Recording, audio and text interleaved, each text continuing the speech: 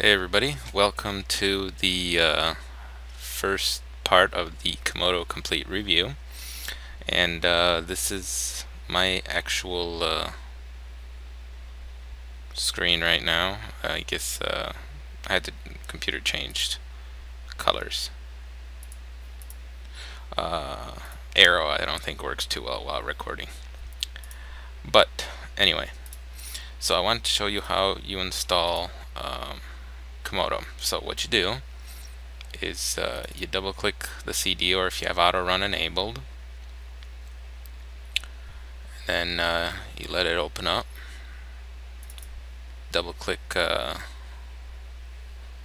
the install or you just let it run. Then you click OK. And then you're going to be greeted by an interface first thing you're going to want to do is hit install the security suite.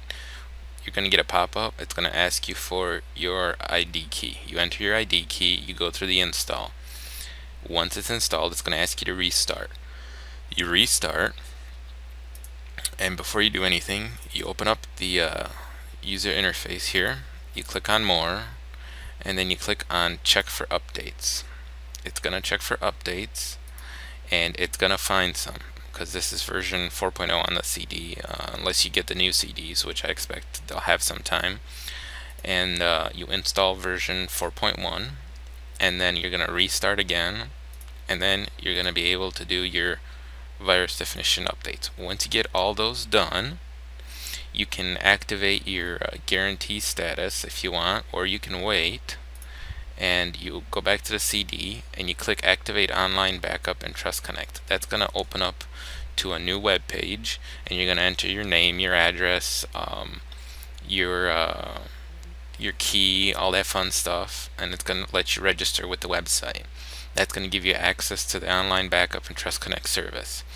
Then after you do that you come back to the install interface and you install online backup. That installs Comodo backup right here and that's going to ask you to restart after it installs. Uh, what they did is they took Comodo backup and they integrated the online backup. So let's say I want to back up um, some files. I pick some files whatever they may be. I just picked the whole C drive. And then you just hit next. And um, for the online backup I think CBU file doesn't work because it doesn't work with compressions but if you do a simple copy and no compression level you can hit you see online storage comes up you can do my computer network FTP or online backup and then you enter your username and password the same one that you set up when you activate uh, online backup and trust connect and uh, that's where you can back up your most important files. You get 2 gigs included in the package as of right now, uh, but you can buy more space if you need it. And then um, from there you can just continue on. Uh, there's a big help file if you need to read on how to use Comodo Backup because it's a very powerful suite. Uh, if you go and hit help, you'll see the PDF and you can download the user manual. Okay, so after Comodo Backup is installed, you can then go and install Trust Connect. Um, this is Trust Connect.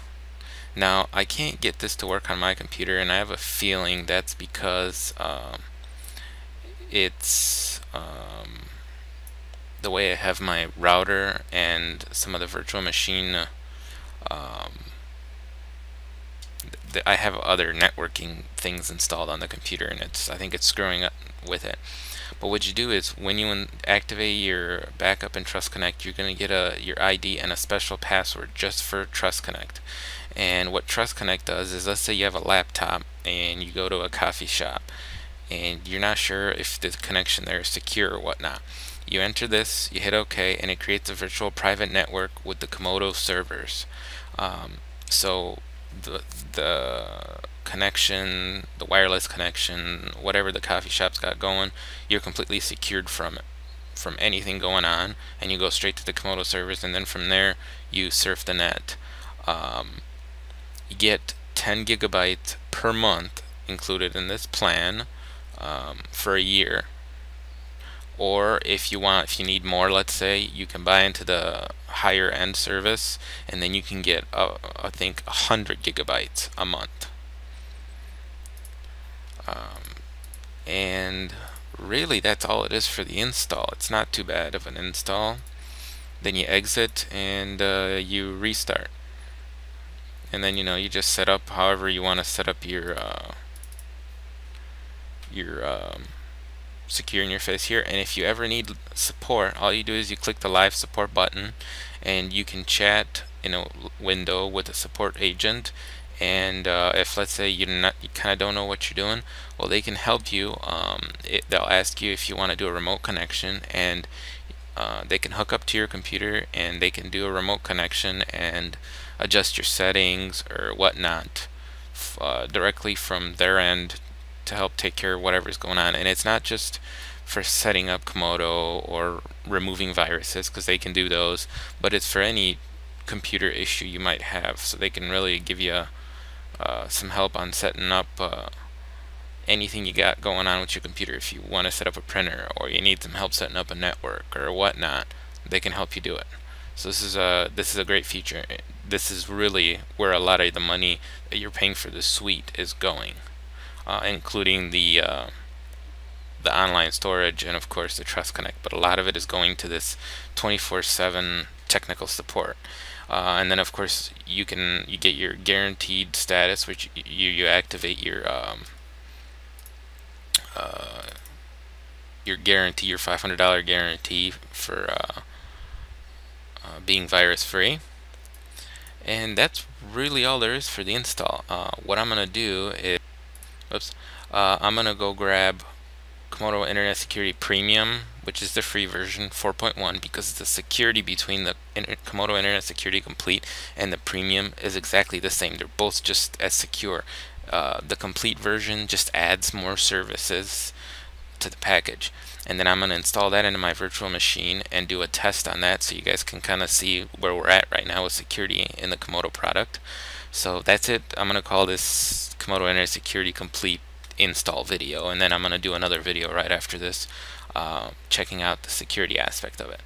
So I will uh, be back in the next video and everybody take care. See you later.